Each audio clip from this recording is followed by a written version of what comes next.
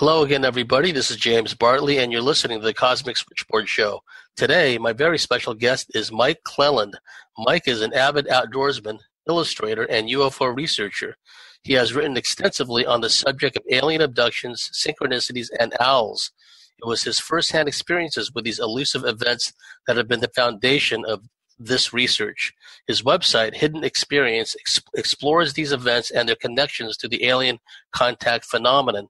The site also features over 200 hours of audio interviews with visionaries and experts examining the complexities of the overall UFO experience.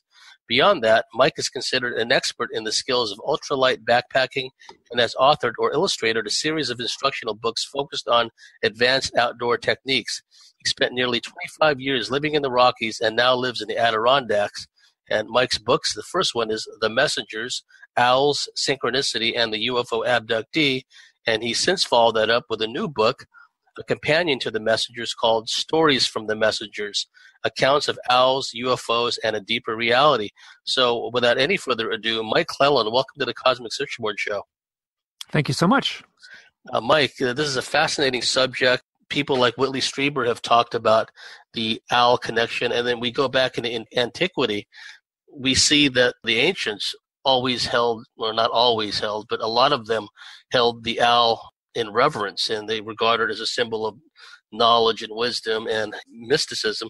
So before we get all into that, could, could, you tell the audience a bit about yourself and, and how you came to this realization that you've had these ET experiences and then the owl connection? Well, it started in 2006. I am, uh, the, as far as the owl stuff, um, I am 55 years old now. So in 2006, it's uh, I would have been 44. So um, actually, that's 43. I would have been. So that was. Uh, so I was living out west. And at that point, I had been reading a lot of UFO books. And part of the reason I was reading those books is because I had some memories. I had a very clear memory of seeing a UFO at night, um, close up, it seemed. I was 12 years old at the time. I was out a window, and I, I remember me and my friend both pointed out the window. I can't remember if he said it or I said it. it was like, hey, look, what's that? And uh, we rushed right up to the glass and then looked out, and there was a what looked like a coffee can, kind of hovering and descending slowly at a very strange way, like a very eerie.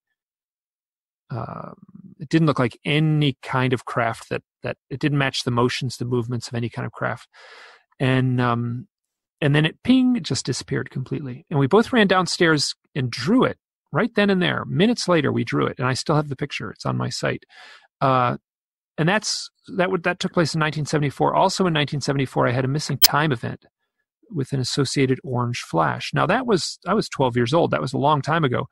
In the interim, when I was 30, I woke up in the middle of the night. There was a bright light shining in the bedroom window. I was at the house alone, and I sat up on my elbow and looked out the window and there were five gray aliens walking towards the house. Now that's scary. That should have freaked me out. I should have ran and hid and you know locked the doors. I didn't. It felt like I heard a very clear voice in my head say, "Oh yes, they're here. Now is the time to put your head on the pillow and shut down." And that's exactly what I did. And the next morning, I just dismissed it all as a dream and never even bothered to look and see if there were footprints in the snow. Now, in the that this is in the lead up to all this, so I have those kind of core events as as a boy and a young man, and um, and a lot of other odd synchronicities. Now, I was, I was, uh, I took, I went out camping one night with a friend, just an acquaintance from town. A woman named Kristen, and we um, we were just going out for one night. It was lovely weather, so we didn't bring a shelter. I was living in near Grand Teton National Park at the time, so there was no issues with rain or or or we could just look at the weather and look at the sky to the south and know that it wasn't it was going to be lovely weather all night.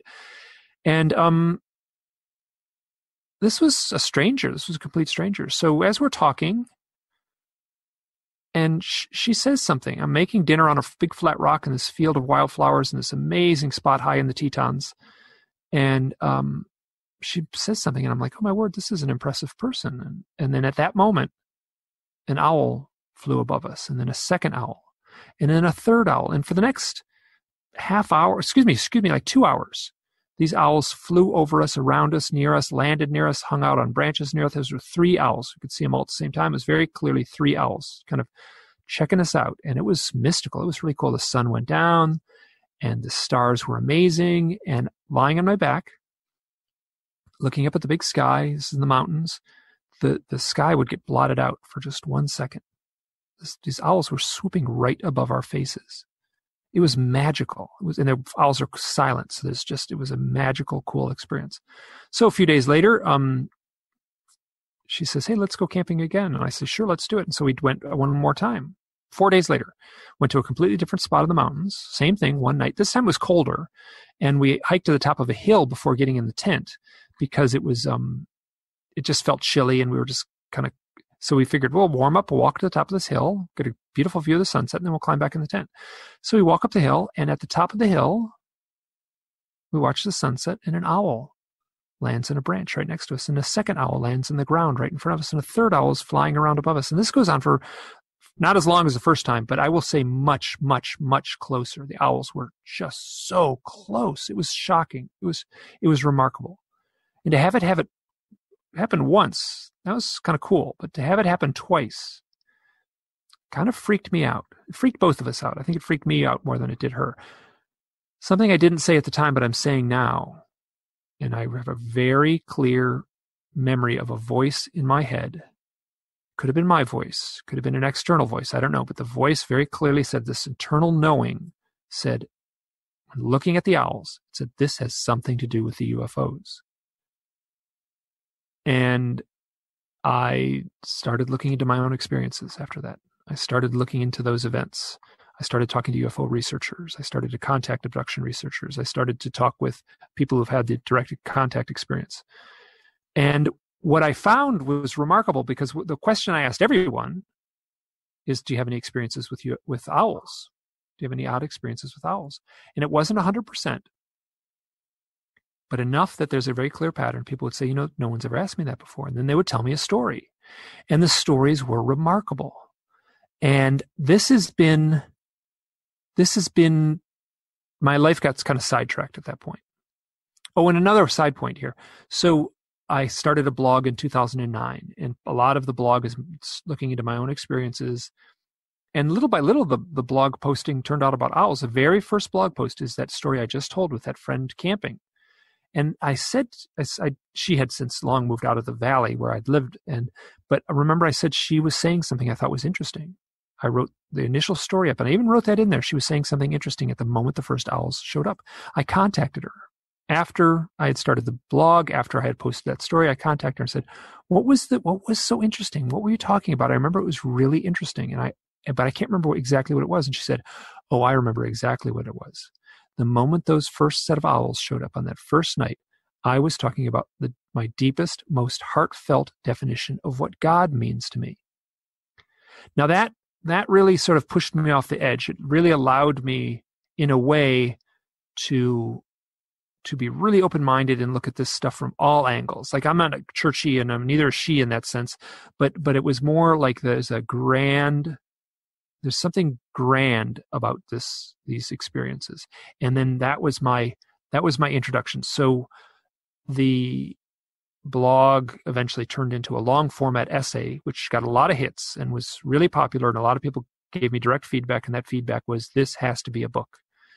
And i um i wrote a book. The first book the messengers came out in the late in 2015 and the second book stories from the messengers just came out a few months ago. So i have been um it's been my full-time job in, in many ways doing this this owl research. And it has proved to be so remarkable because yes other authors have certainly whitley strieber is a perfect example have certainly touched on the owl. But i have just thrown myself into it and it has it has been so fruitful as far as the kind of stories that have emerged.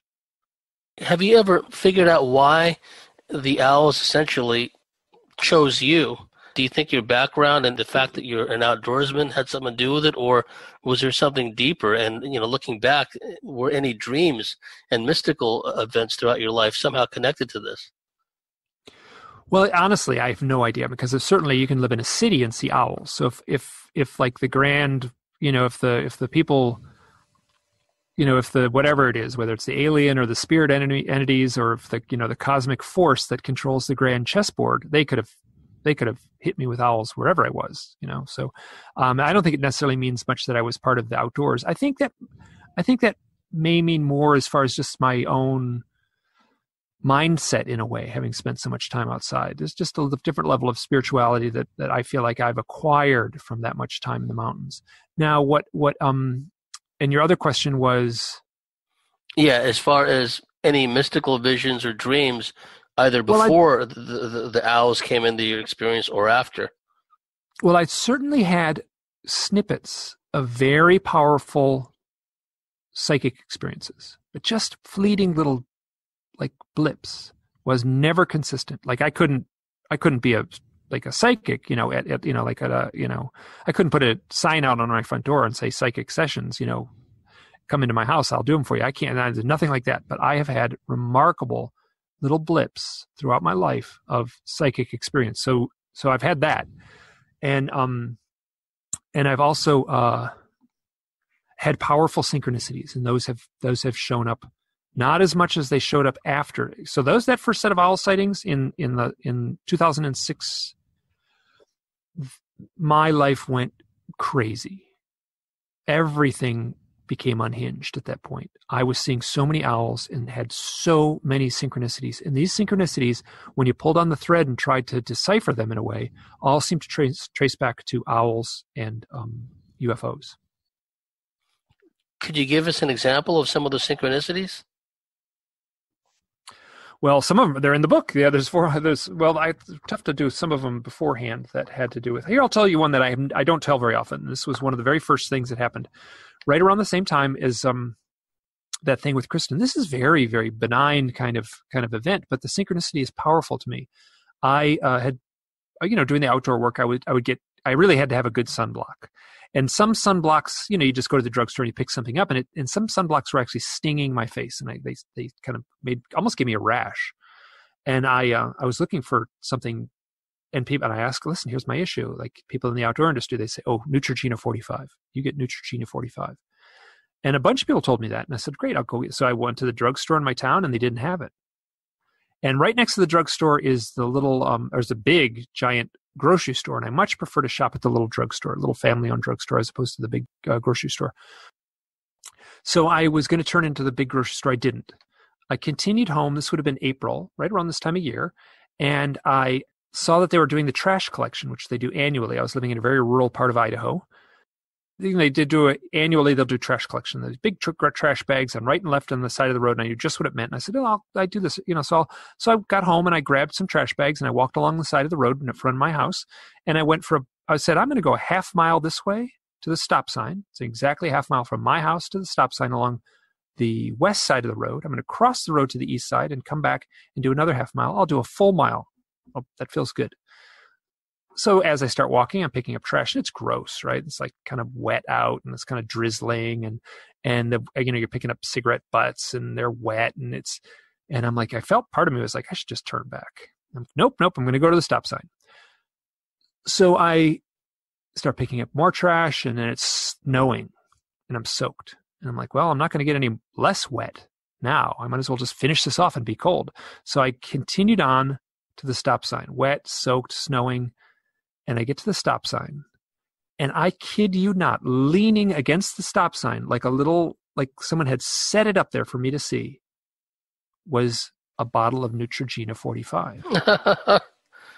and I was just like, I am not kidding. The the um, this is the third time in this interview I've said it. The voice in my head said, "It's them," and I didn't even know what that meant, but I was just like, "It's them." I kind of was like, "Oh crap, this is like some UFO thing." So I was 44 years old at the time.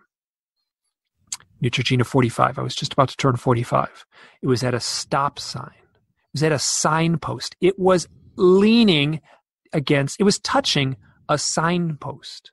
I mean, it just if you decipher the the the the sort of symbolism, not even you know, it's not abstract symbolism. I mean, it was a signpost. This little bottle of Neutrogena 45 was touching a signpost.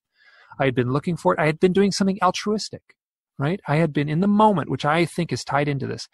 In the moment, I had been saying, I'm going to, um, just do this nice thing for the community and just you know walk this mile even though it started raining and then snowing that one was very much the flavor of things that happened and the, and there's the only tie-in i have to the ufo thing in essence is fleeting and it can be easily dismissed but i did think straight up i thought it's them they staged this those kinds of things happen for, for those of us that have had experiences they have a wonderful way of of kind of morphing reality to kind of have a special unique message or metaphor for us and so you know here you are the, the stop the metaphor behind the sign Neutrogena bottle when you were just talking about that because you wanted something that was good and healthy for you, and then whammo, there you go.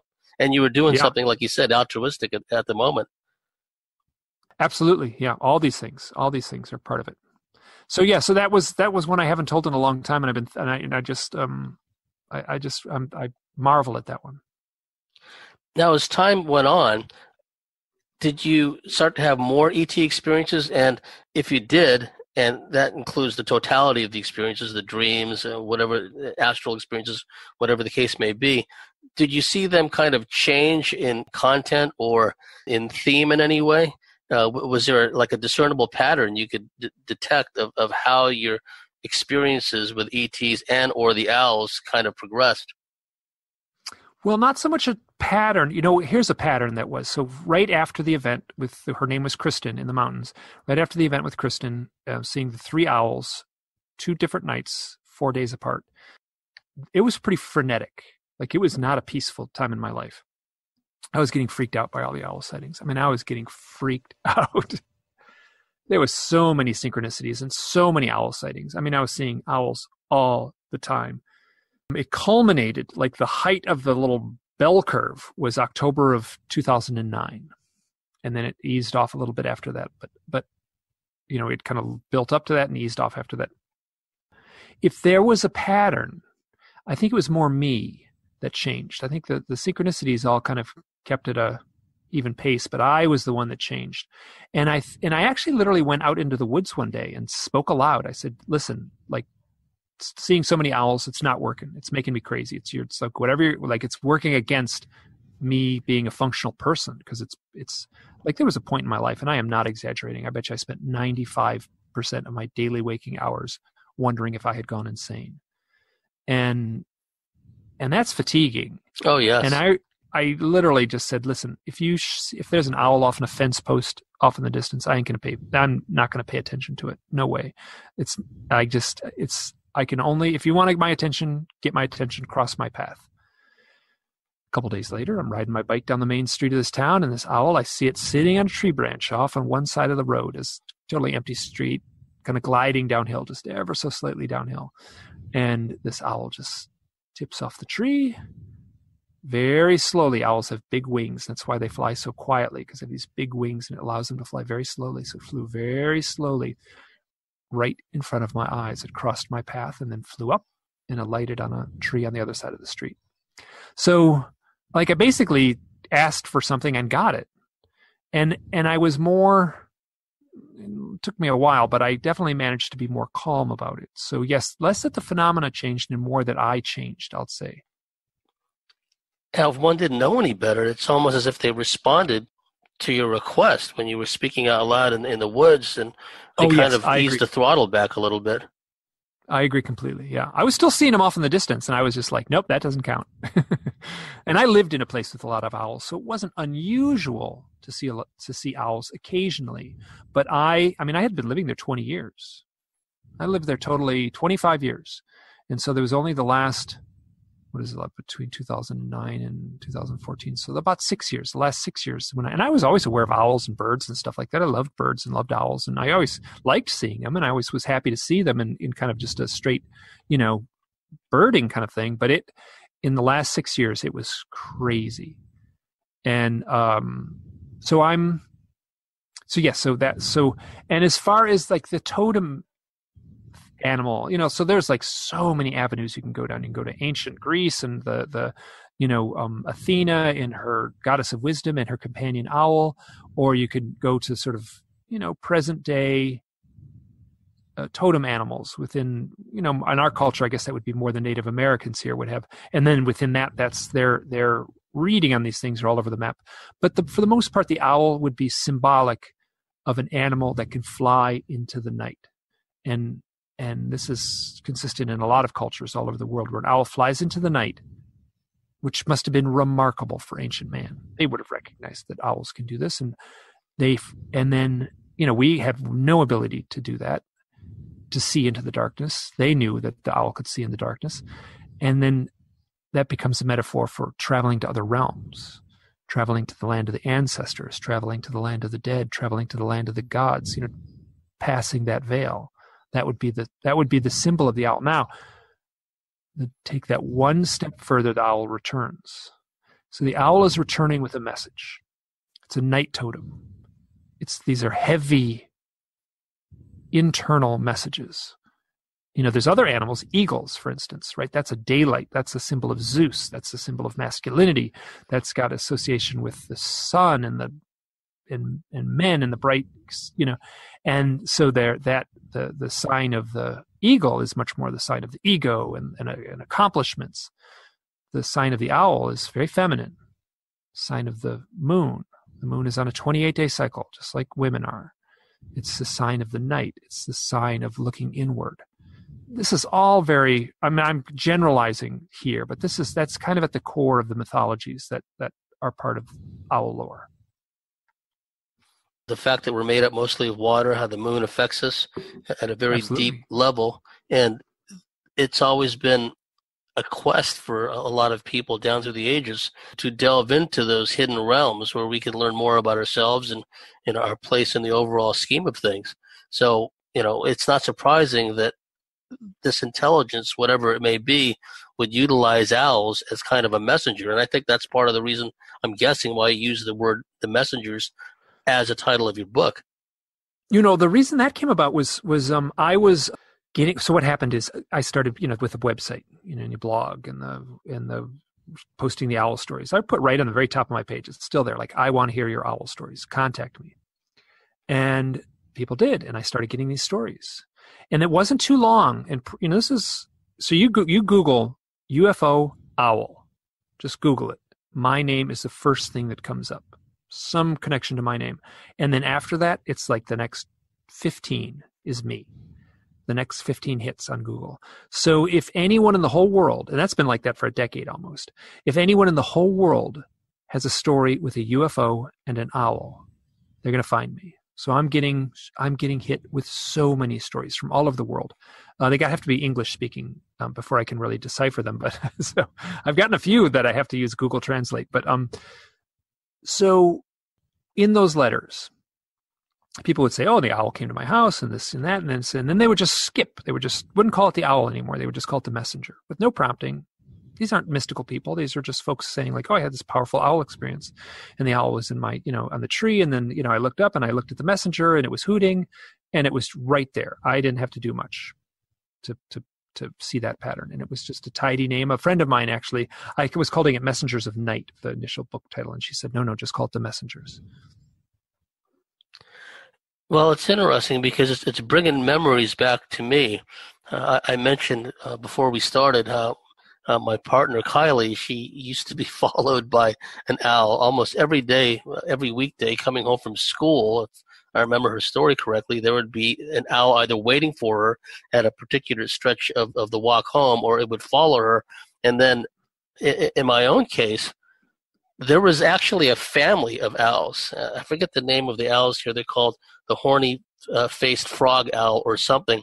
And they don't look like conventional owls. Uh, I'm in Australia, so they, these. Oh, I was going to say you're in Australia. As soon as you said that, frogmouth owl, yeah. Yeah, that's that's it. There was like a family of them at one point, and I would see them lined up on a big branch in the tree in front of our house, and you know we they were there for a while because the rodents would get into our barbecue at night and kind of you know rummage around looking for scraps and so the owls were there ready, ready to pounce right and eventually we didn't have a rat problem anymore because i guess the owls took care of them but they still hung around for a little while and i always drew some kind of comfort i mean they would be right there on on the railing sometimes in daylight, right? So I always thought they were really neat. And then, oh, know, they are, and I agree. They're wonderfully neat. Yes, yes. They help us in, in many ways. They, they if there's like a, a varmint problem, so to speak, then you know that's what they're there for. And I always felt a sense of reassurance because I'd hear that that slight thrumming sound they make. I don't know, you know, it's kind of like a humming sound they, they emanate from their chest or some of them. Some of them do that, and when I would hear that, I would know they were up in the tree. I, I would go, okay, the owls are here again. So it was very reassuring to me, uh, Mike, that I knew they were out there. Yeah, and I mean it's reassuring to me too. I mean we have them around the house here, and we hear them at night, and sometimes I just recognize, oh, it's only an owl. What I do do now, which is I'll say like, is you're in a conversation and the owl hoots. I'm like, what were we talking about right now? Right at that moment, right at the moment the owl is hooting. Um, my partner Andrea and I both have had experiences, so we're often talking about UFOs. So it's, so it's not uncommon for us to be talking about UFOs or like something spiritual and then the owls will hoot right out the door, wow. right out the window. And, and this is something that it's. Oh, oh and I, this is something. So in the letters, I mean, I get people who are reading the book, and I have, you know, they'll say, "Well, I was reading the book," and I would sit down, and I'd open up the book, and the owl would be hooting right out my window. And I'd close my book, and the owl would stop. Wow! And I'd open the book again, it would start again, you know. And so, uh, when she finished the book, she said the owl stopped, and she said, "Well, maybe they flew off to find someone else who was reading your book." So. yeah, uh, the the UFO activity in your area did it after you came out with the messengers book did you notice any kind of marked increase in sightings or eh, any more UFO related ever, yeah, I don't really have sightings. I mean, the few sightings I've have have been few and far between you know, it was less the dreams and things like that. It was more just like it felt like I didn't need that. I didn't need any kind of confirmation at that point. You know, like I would done so much research and I talked to so many people. Like I didn't nobody needed to tell me that there's a real phenomenon. So I didn't. I felt like sometimes the the UFO sighting is this event that's meant to, you know, to get your attention. And I didn't. I felt like I didn't need that. So yeah, I haven't really. In uh, you know, and I've been fairly clear about this. I haven't seen that many things that I would call a UFO. A few I certainly have and um, I have one story that takes the last 40 pages of the book or so, and that's a long, complicated story that involves three different events, and each event sounds like a UFO abduction event in some level. And there was certainly, a, it wasn't a UFO because it was on the ground, so it wasn't flying, but there was a big disc shaped building. Hmm. That's what I called it at the time. I was sleeping outside under the stars. And off on this hilltop, I was down in the desert in Utah all alone. And on this hilltop, there was this big. I woke up in the middle of the night and said, that's really weird. Why would someone build a building right there? That's ridiculous. And it looked like there's a t- there's a movie called Sleeper with Woody Allen, and, and there's some famous modern building that was in Colorado, but this looked like that building.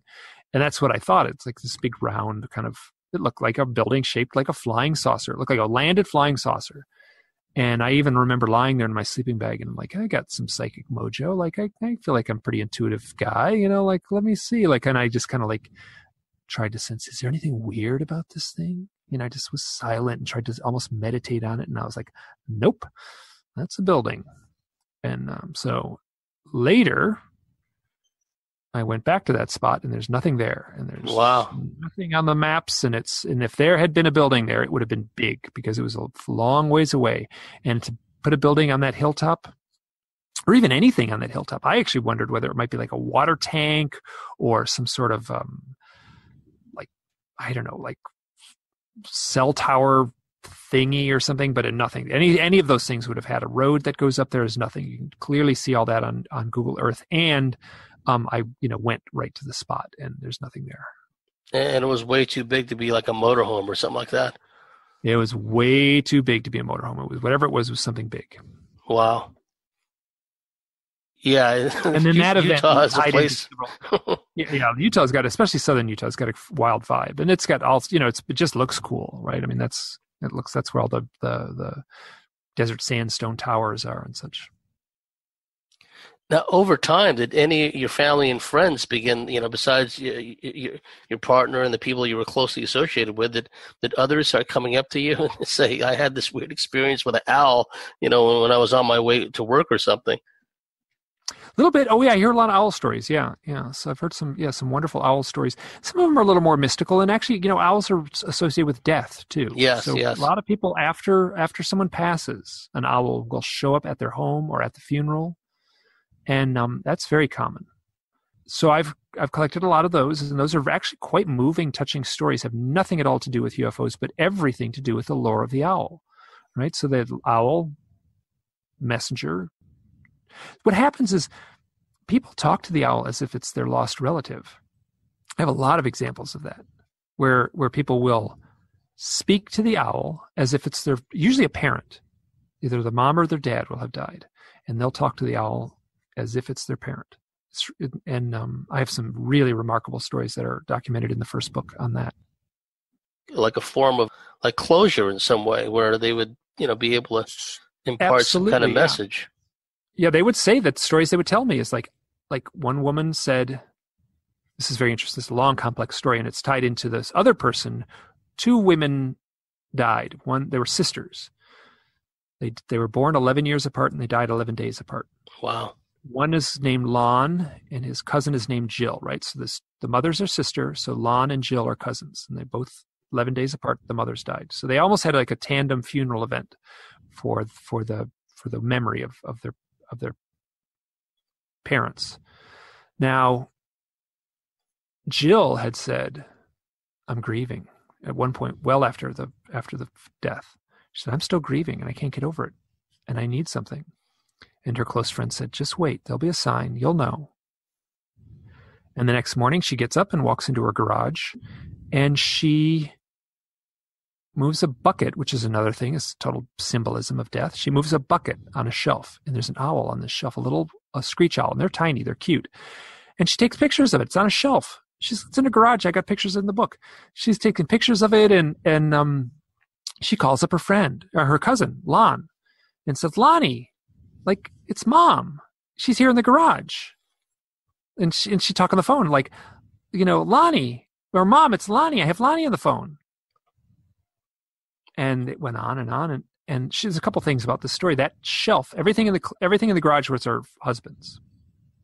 And that shelf was her, her only, that was her shelf. That was, she kept her stuff. So the owl was on her shelf. Wow. The garage door was closed. She doesn't know how it got in. She opened the garage door. The owl wouldn't leave. It was Thanksgiving. They went out and and had Thanksgiving dinner, came back, and the owl was still on the shelf. She said, Mom, I got the message. Got the message. thank you. And that shows up a lot too, where like you basically have to like, I got it, thank you. And the owl flew off and she never saw the owl again. She'd lived in Florida for 27 years and had never seen an owl. Wow. So and then Lon had his own set of wild owl synchronicities associated with his mom's death. Now this gets so 11 days apart. I met Lon under kind of, you know, someone said, you know, Mike, you need to talk to this guy, Lon. He's got a beautiful owl story. I talked with Lon. We got along really wonderfully. He's an amazing, I respect the guy. His name is Lon Friend. He used to write for um, a magazine called Rip, which is a, a heavy metal magazine. And my mom died the same year. So Lon's mother died. 11 days later, Jill's mother died. 11 days later, my mother died. I mean, who is that's who is and we've all had powerful owl synchronicities and I had a remarkable owl synchronicity on the on the evening that my mother died where I was at my sister's house because I was with my I was just, I'm very cautious to tell this story because it's emotional for not only me but my family members but I I've been telling it more recently was a very gentle, peaceful passing for my mom. I was there, I was holding her hand. My sister was on the other side of the bed holding my mother's hand. She had been sick for years, and it was a relief. And we all knew it. And the next day, that happened at three in the morning. The next day was totally, we were all fried. We'd been up with mom for days and days. And and we're fatigued and we're emotional and we're grieving and we're in the backyard and we're on the my sister has a big couch and she lives in the south and and there's a big couch in the back porch and we're all on the back porch and the neighbor is there my brother and sister are there and my brother and sister don't really they're they don't know what to think of me. This owl stuff and at the time i would get up in the morning right? I was there for days at my, my sister's house. You know jeannie i'm doing this owl thing like this stuff look here i'll just open the email watch this is i'll just read an email this came in today right now here's an email and i tell the weirdest story that involved an owl and a ufo and she was like what is going on? I could tell she had no clue how to process this so I um, am sitting on the back porch between my brother and sister. across from me is Jeannie's very close friend, Ruthie, lives right across the street. And Ruthie's very southern, very polite, very formal. And she says, Jim, my brother and sister and I, Jim, Jean, Mike, I need to tell you a story. I know there is an afterlife. I know there's an afterlife. And I know because of an owl. Hmm. And when she said that, my brother and sister flinched. I mean, they physically flinched. And, and I literally, my sister literally put her hands over her ears, like she's like, "No, no, no, no! I don't want to hear it! I don't want to hear it!" And um, and I was like, she could see Ruthie's expression, like, "What did I say?" And I said, "Ruthie, you don't know this, but I've been doing this owl research. My brother and sister know it. I want to hear the story. Please hear the story." So she told a very typical story, one I've heard in one form or another many times. She was grieving. There was a path right around the neighborhood there, this nature path that kind of goes through the woods. So there's a, you know, maintained nature path. She would walk this nature path every day as part of her grieving process. And every day she would pass an owl. This owl on a branch, on a low branch. And then one day she said, like, owls don't hang, owls aren't out of the day. She was always comforted by the owl, but she said, owls don't come out in the day. What's going on? And so she looked at this owl. She walked right up to it and she said, Are you my dad? And in that moment, she felt a tremendous relief, and all her grieving seemed to melt away. The owl flew off, and she never saw it again. This doesn't have anything to do with UFOs, but it has everything to do with the owl lore, in my opinion. This power.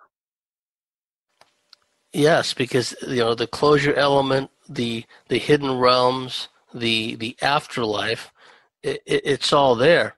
Now, you know, here we and are. I'll add to that. Please. So when I do UFO research, when I do UFO research and talk to people who've seen strange things in the sky, I will always ask, what was going on in your life leading up to the event? And then the next question is, what changed in your life after the event? Excellent and questions. yeah, and this is and there's so they're Ruthie and the woman Jill. They were grieving. They saw the owl. The grieving was alleviated. So that's that's the totem right there, whether it's grieving or whether it's some other challenge. It took me years of seeing owls to get past what I would call the frenetic unease of my of my UFO experiences. But I think that's what they were there for.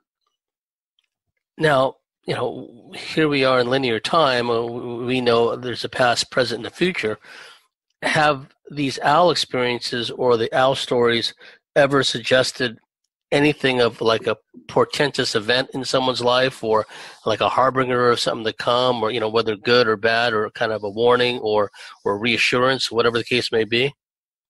Absolutely yeah. Sometimes it's ufo contact and sometimes it's i mean sometimes the one woman um uh oh i'm drawing a complete blank on her name. I apologize she's actually she's the woman that coined the term exopolitics. And here, let me just. Oh uh, yeah, her name escapes me. Well, I got the book right in front of me because I think she's right in the. Wouldn't be Carol Rosin. I think that's someone else. No, it's not Carol Rosin. And it's but it's she looks like Carol Rosin actually. She's she's a very handsome woman with big big gray uh, head of oh, you know white hair. Oh, I'll think of it here. I'm so, forgive me. I'm sorry, but she was at a point in her life with a lot of contact. She's living in Phoenix which is another great metaphor, right? Phoenix. Oh, yes. And rebirth and the rising out of the ashes. And she was literally in a mundane shopping mall parking lot. Full daylight. She walks out. She looks up. There's a huge owl on a on a on a light post in the parking lot. Huh. She looks up at this owl, and she gets a direct telepathic message, and the message is, "You are not who you seem to be." And later that night, she said she had UFO contact. And I said, Do you think it was a real owl? And she said no, which is a really good answer. I mean, that's a really honest answer because I mean, she said no, I don't think it was a real owl. I think it was some sort of projection. I think it was some sort of some sort of projection. So yeah, I mean, I don't think she didn't say no, like she wasn't sure, but she said she felt it was some sort of projection and not a real owl. She, she couldn't obviously know for certain, but this is, and and uh, so the portent of there was that she had UFO contact that same evening. Now, I've also heard some really, you know, there's sad stories of owls showing up and then within 24 hours a relative or uh. someone dies. That that shows up. It's very rare, but what is much more common is for someone to die and an owl to show up. Now, have there been instances when people have seen an owl? Like, for example, in that story you just mentioned, the woman kind of intuitively felt it wasn't a real owl, it could have been a projection. Have there ever been instances in, in these stories that you've collated where people will say something like, well, the owl just disappeared, or like, you know, some kind of metaphysical or, or mystical occurrence transpired regarding the owl? Oh, it's Rebecca Hardcastle Wright. I just looked it up. That was the woman. So yes, she's the woman who coined the phrase exopolitics, and she published a book some over a decade ago, I think, titled Exopolitic. Yes, there's some very mystical experiences with owls, and then you know, one sometimes they're just visionary experiences. This one woman um, had been having a lot of owl experiences. She was studying shamanism. She wanted to become a shamanism. She was working with with a not really a guru, like an elder, like someone was helping her along the way.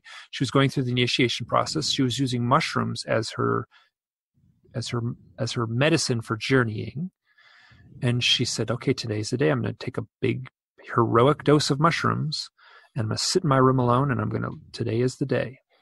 So she was all alone, which is something she'd never done before. She'd always been with someone, sort of shepherd, shepherding her through the, the psychedelic experience. And she was confronted with a giant vision of an owl. And the owl spoke to her, and I have to look it up to get the exact words. But she felt like the owl was saying, You are moving from mother to crone. You are moving to a new chapter of your life. So she went through a transition and she came out of it and she started taking the, the shamanic work very seriously. So there's an obviously, obviously there's no real owl in the room. She's taking mushrooms, trippy, psychedelic, but a visionary experience that she did very formally and, and requested as, you know, so what was going on in your life before seeing that psychedelic owl? Was going on is before I requested to have a powerful experience to help me move through this process of becoming a shaman. Afterwards, she became a shaman. So yeah, so this is so there and there are certainly stories of the of the screen memory of owls that show up very mystically, you know, like uh, appearing in roads, you know, the four foot tall owls that are bigger than they should be. I have some accounts where there'll be three people in the car, two people will scream in utter terror as they turn a corner, and the third person will say, What are you screaming for? That's just a big owl. and the other two will say, That was a gray alien standing on the side of the road. So, yeah, so there's this, it gets very murky when you try to, and I've, and what I've done is given up, right? I've given up. I've given up trying to come up with concrete answers. I've just danced around what might be the answer and, and let the stories speak for themselves these can be catalysts for change in people's life. They're a milestone, a guidepost. There's a a marked before and a marked after and a transition uh, for these people that experience the owl in their their lives. And the story you just told, or an example you just told of of like the four foot owl masking as an as an illusion for an alien, for example. Sometimes people would see the gray and then another person would see like a four foot owl. That that's what you're yep. saying? Wow. Absolutely. Yeah, yeah. Yeah. So that was three people in the car driving along, turn a corner, they're on the side of the road. Two people scream instantly, ah! And the third guy goes, What are you screaming for? That's just an owl.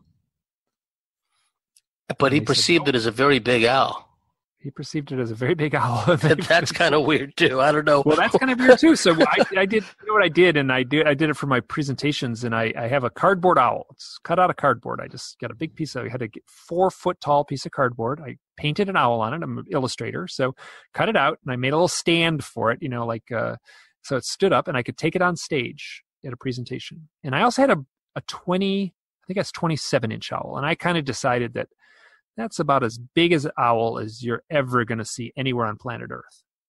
So if someone said, "I saw I saw an owl and they kind of made a little height about 27 inches long," I would go, "You know, I'm going to give you that one. That's possible." So I made a 27 inch tall owl and a four foot tall owl, and let me tell you, there is no way you can kind of kind of go, "Oh, I just saw a four foot tall owl." Hmm, what do you know? There's no way. It is. It is. It's berserkly enormous. and I, what I did is I did a bunch of things. I took it out on the road at night, and I took pictures of it on a lonely road. This cardboard owl. It's obviously just cardboard cartoon of an owl, but it does give you a very good sense of of how ridiculous it sounds. I mean, it may not sound ridiculous, but you put the visual to it, and it's it's outrageous that people could say, "Oh, I saw a four foot tall owl," and not think anything of it, or a three foot tall owl, or whatever they say, five foot tall. I've heard, you know, the three and a half to four feet tall is usually what I'm hearing. Yeah, that should be a red flag. And yeah, a big one. Yeah. Yeah, and, and from some of the stories that I've come across over the years in my alien abduction and, and UFO research, it would be a scenario where either at the end of an encounter or kind of a missing time thing, and the last thing they remember seeing is like an owl perched up on their the hood of their car, or like a owl looking into their like windshield or something, and that's the last thing they remember before they black out, and then you know, lo and behold, they do a regression later, and it wasn't an owl at all, but it was a gray or some other ET. Correct. Yes, that shows up in the literature all over the place. But it's not only owls, it's deer, it's big squirrels, it's firemen, you know, there's clowns, you know, other things show up too, you know, as part of the screen maybe. But it seems to be that the owl is right up there at the top of the list as far as that that's the one that it's hard to say because there's no real true data pool that we can we can scrutinize and study and, and put on a spreadsheet.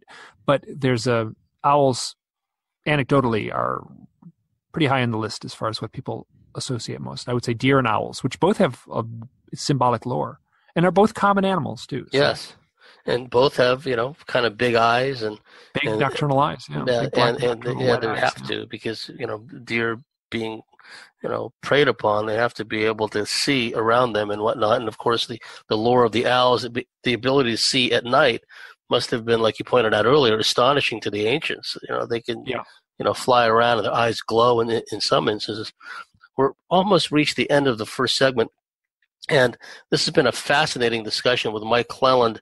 Mike, do you want to give your book information and how people can get a hold of your books and contact you if they've got any owl stories? The book, the first book is titled The Messengers. The subtitle is Owls, Synchronicity, and the UFO Abductee. And uh, that's, a, that's about 400 pages long. That's a big fat book. The next book is about 250 pages long. It's a little more modest. Um, it's called Stories from the Messengers, and it is uh, the subtitle is Accounts of Owls, UFOs, and a Deeper Reality. And both these books are available on Amazon. They're super easy to find. If you have any trouble and you can't remember my name, just type in UFOs Owls or UFO Owl into Google. My name is going to be the first thing that comes up. So you can go to my site and just uh, there's links all over my site um, to get to the to the Amazon page. Okay, we've reached the end of the first segment with our very special guest, Mike Clelland. For those of you listening, if you like what we do, if you believe in what we do, please go to thecosmicswitchboard.com, sign up and become a member, and we'll see you at the top of the next segment.